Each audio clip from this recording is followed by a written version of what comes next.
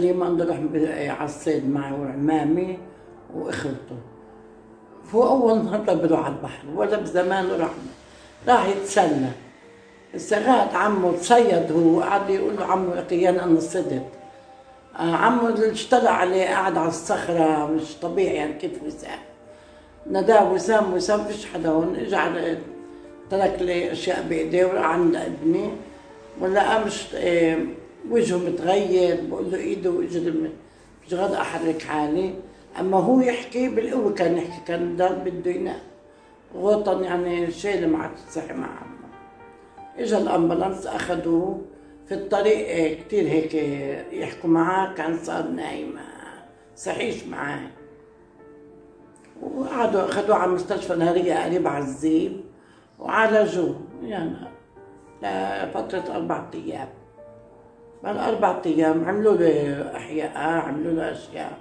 بس الدكاترة كل يوم يقعدوا يقعدوا معنا يخلفونا عن قصته صلوا له هو يعني بوضع صعب وهذا.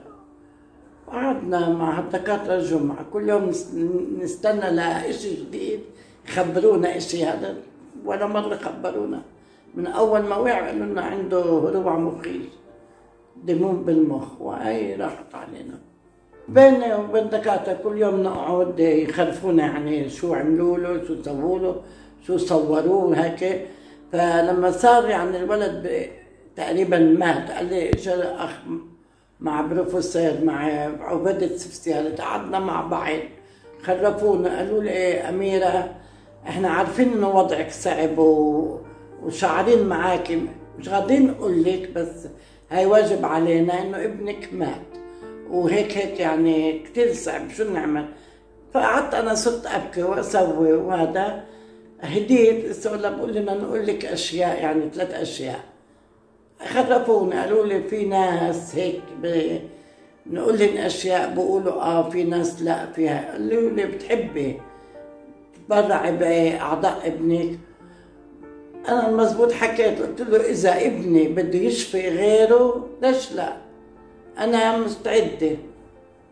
لأنه ابني مات. قلت له مات. وإذا في إشي بعطي لغير الحياة ليش لا؟ أنا مستعدة كل شيء يعني كان القرار سريع بس قديش آه صعب؟ أنا أمه وأبوه مات عندي شابوني أنا. بس أنا قلت للدكتور أحسن ما يقولوا قرايبينه إنه أمه أنطت القرار.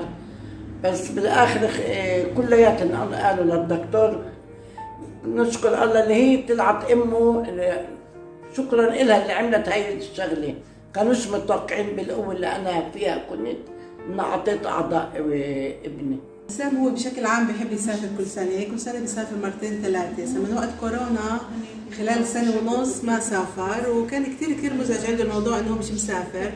فصح له إنه يروح يسافر على كساريا آه، ليلتين يقضيهن وينبسط هناك. فما أتأخر دغري هو بيسافر مع عمه عادة هو رفيق عمه. آه، سافر هو وعمه وقضى ليلتين بكساريا وهي الصورة بتأرجى قديش هو كان سعيد ومبسوط بهذا المنظر الحلو. حبيبي وسام الله يسهل عليك بحبك كثير حطينا لك صورتك الذكرى كمان وانت برحلة. زي ما انت بتحب الرحل خليناك هيك برحلة طويلة. ان شاء الله بتكون مرتاح وين انت موجود.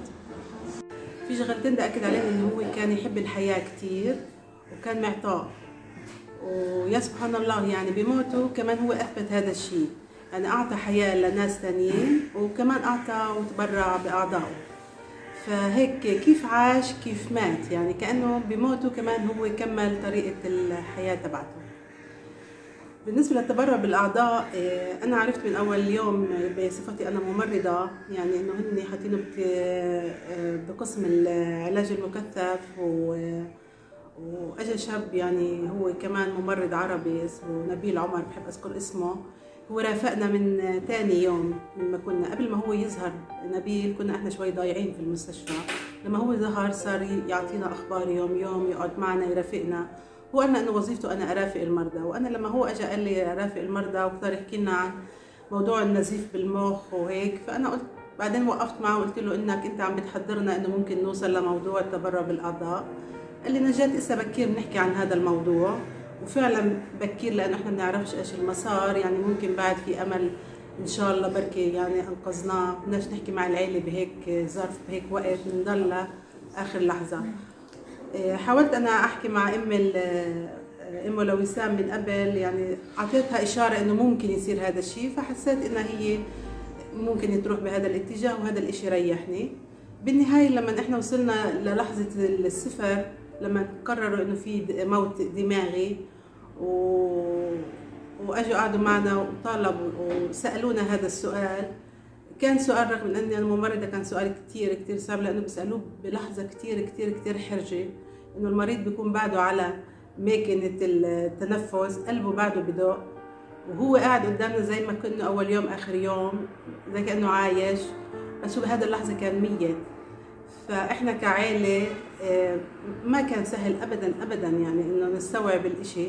إنه بعد لحظات إني رح ياخذوه على غرفة العمليات وي- وياخذوا اعضائه وهيك إني عمليا بينهوا حياته مع إنه هي حياته كانت منتهيه بس آه، مع ذلك يعني بشوف إنه القرار العائله إذا أم وأخت وإخوة وعمام كلهم كانوا يعني قرار واحد جواب واحد إنه إنه إحنا بنتبرع بال بالأعضاء على أساس إنه إحنا نكمل الحياة لناس تانيين.